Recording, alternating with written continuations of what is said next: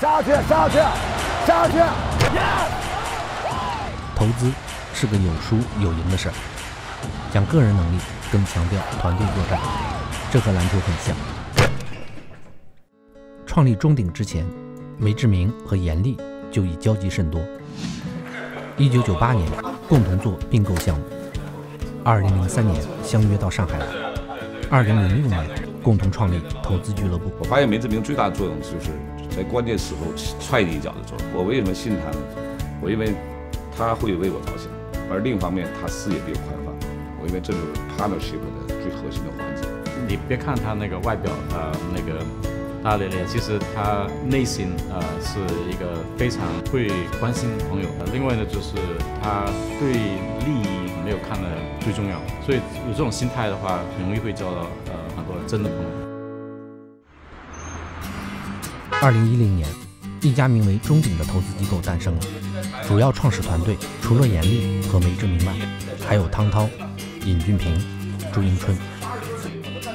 文中和聚，注鼎文诺，就是说，我们希望把一一帮那个朋友聚一起，呃，做些事情，将来就变成我们的朋友。所以我们是这样一个理念，是一个平台，呃，事情可以把人，呃，连在一起，一帮兄弟聚在一起，又做点事儿。你不能做孤独的登山者，文中而聚，注鼎为诺。这支自视为街头篮球队的基金团队，自此开启了他们不断进化的故事。创业创新的这种时代背景之下呢，这两年的股权投资应该是这个市场空前的繁荣。没想到的是，他们刚出发就遇到了全民 PE 的热潮。你没有任何价值创造，一直拉关系找机会。当时我们去青海看那个做酸奶的公司，就是因为喝酒认识企业家，然后完了以后也是喝很多。那个二楼的平台上面喝酒，平台有个木的栏杆嘛，探涛因为往后一靠，结果那个木的栏杆不结实，然后人就摔下去了。那天晚上是挺难受的，打电话给严厉，就哭得很难受。经过这一事件后，团队所有成员都陷入了沉思。我们怎么样构建、建立一个持续有生命力、同时受人尊重的投资机构？刚成立时，中鼎也走的是机会型投资的路线。但八个月后，中鼎团队经过激烈的讨论后，决定改为种地模式，努力开辟自己的一块根据地。聚焦物流，第一个决策是物流是不是聚焦物流？这个决策对我很难。这个是当年决策看生死，这个时候是生死观念了。刚开始创业的时候，只有赢，赢了我们才会有别的东西。从此，中鼎团队在物流领域学习进化，攻下第一战场。聚焦的选择，让中鼎走上了一条与众不同的道路。同时，中鼎也意识到。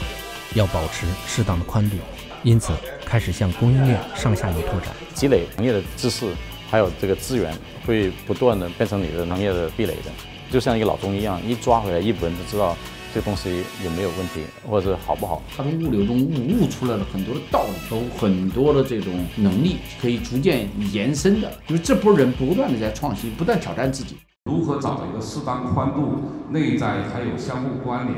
未来还很活跃的地方玩，Where to play，是我非常非常重要的问题。就构建了一个从商流到物流到信息流的一整套互相关联的 B 和 C 互相关联的这一套的系统。很快，中国经济进入四万亿后的调整期，全民 PE 泡沫破裂，市场进入了残酷的洗牌期。同时，这支街头篮球队的内部机制又暴露出问题。团队面临内忧外患的困境。严厉是这个厨师，其他都是切菜工。到后面就发现，这个所有的压力都在严厉身上，而其他人呢也没有自主创造性。他们发现，每一场比赛都是严厉在打主攻，他是这支篮球队唯一的主攻手。如果那样的话哈，我一定会抱怨他们，他们一定会抱怨我。你而且你你离开了整个中鼎的初衷了。第二年来讲，我们做一个痛苦的选择，让我们还没成熟的团队走向市场。我在背后支持，逼迫的团队在市场竞争中花了三年时间去磨练自己。项目到底是从此，严厉退到后面。一边做防守，一边做助攻，还负责做教练，协调团队作战，帮助大家成长。这是钟鼎在发展历程中最为重大的选择。压力是团队进化的动力之源。我我们当年那个斯通益达，他被投投了一个落地配，我跟我的人生里头啊，有巨大巨大的那次失败。我们对商流不懂，其实斯通一达是伴随着这个电商的发展而发展的，但我们对电商的这个趋势，对未来能做多大，其实是没感觉的。而另一方面，我们胆儿小，经济在滑坡，团队那时候我正在组织结构调整，安全是我第一个选择。现在回想起来，越他妈追求安全呢。可能越不注意。此时的钟鼎已经意识到，物流的变化驱动因素不在物流行业，而在消费端。于是，草根出生的钟鼎力邀当时身处一线机构的两位伙伴前来加盟。这几个合伙人吧，每个人都活出了自己，每个人都让自己内心的这种东西得到释放，而这种释放，这种兄弟的义气的这种释放，我觉得是。最打动我的地方，不是一般的这种美元基金的 GP 团队，他们呢是就是完全是创业者的这种能够把自己的命都搭上的这种态度和精神，所以我觉得这帮人肯定能成事儿。你今天没看那天我跟你说，至此，这支篮球队更加壮大，也更具实力。每个人都清楚的知道自己的站位，相互配合，攻守兼备。这个世界看的景色都一样，但是每人得到的是不一样。不要记框架，就是该他们破的。每一次中鼎的内部会议，都是一个分享与顿悟的过程。在这里，他们享受着更自由的心，追求着更好的自我。大家都要用脑拼脑，拼心可能对了。反正都是土嘛，眼里也挺土的。不是本分，土到底。老难修嘛，修啊！你不能修别人，我老修别人，从来不修自己。相互调侃、批评，在中鼎内部。是一种常态。人力跟团队呢有一个很好的一个批评跟自我批评的一个机制，他们互相那个自我批评跟批评那个刀刀刀肉的，就是确实是很狠的。那个时候，其实中鼎是第一个支持我的人，第一个支持机器的人，是个特别 long term partner，就是在未来十年二十年，我都是愿意，就是觉得他们是一辈子很好的朋友。所以把生态的价值，嗯，把利益整清楚。以协同体系去建立起来，你就综合在一起，你就寻求价值最大化，这是不变的真理。在这一理念下，美国物流型、日本消费型、闭门沙龙、头脑风暴等等，中鼎的众多投后产品和敞开心扉的 LP 大会，正在成为众多生态伙伴真诚对话的重要平台。投我们虽然主投不是中鼎，但是呢。中鼎呢是实实在在的能够给予钱以外的更多的这种支持和帮助。其实我得到最大的这种幸福感是别人对你的相信。我发现这种相信的力量使我直接感到巨大的荣誉，同时我感到沉甸甸的责任。你一生积累的财富就得信。上市的时候，呃，严总椎间盘突出，他坐着轮椅跟我一起去北京做一些沟通，我非常的感动。没有中鼎啊。就没有弗朗斯的今天，不管是在战略抉择的那个艰难时刻，或者是在战术实施的敏感时刻，我们都要得给中鼎打个电话，取得一个安心。中鼎有理念，懂你、爱你、帮你。我希望成为最懂企业家的投资人，最能帮助企业家的投资人。中鼎的合伙人，就他的这种成长和进化速度也非常快。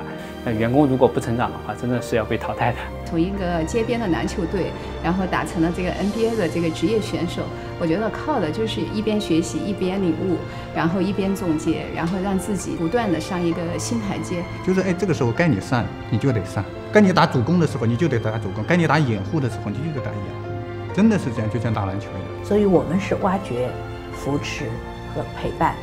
团队的一个成长，我觉得在这个过程中，中鼎是用一个活生生的例子来印证我们的一个理念，而且是一个成功的案例。截至二零一九年底，一百三十亿管理规模，从第一期单期规模二点五亿，到第五期基金本外币单期规模七十五亿，十年增长了三十倍，一百三十家企业，十五个独角兽，构建了一个供应链家的完整生态。中鼎这支原来的街头篮球队，一路进化，走到了舞台的中央。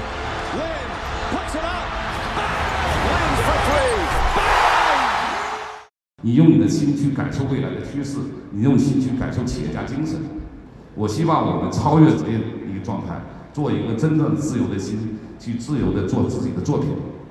而希望一个有互补的、有绽放的篮球队精神的一个团队。我希望我们中鼎给这个产业效率提升提供一些价值，让你你的生活更有意义感，让你跟你的生态之间和睦的相处，互为价值，这才是我想要未来的局面。如果我是一个八十五分的人，那我绝对是有这个责任去帮中鼎再找到更多九十九十五分的人。我们真正的一个理想就是，我们是传给下一代的时候，那个时候中鼎，我们几个老友要吹个牛逼，中鼎当年我们造的，完那些人都是我们收我徒弟，完他们未来他妈你看你看这个他市场多牛逼，你老是吹着牛逼喝着酒，这种感觉是不是？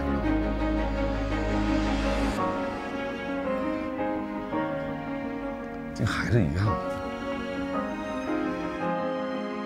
十年磨一剑，钟鼎长久远。过去十年，我们一起携手走过，希望未来能够共同一起进化。恭喜。这十年取得了这么大的成绩，可以说是呃非常的引人注目。但我觉得这些成绩实际上都只是刚刚开始，既往不恋，纵情向前。祝中鼎，祝中鼎，祝中鼎，祝中鼎资本。十周年，十周年，十周年，十周年，生日快乐，生日快乐，生日快乐。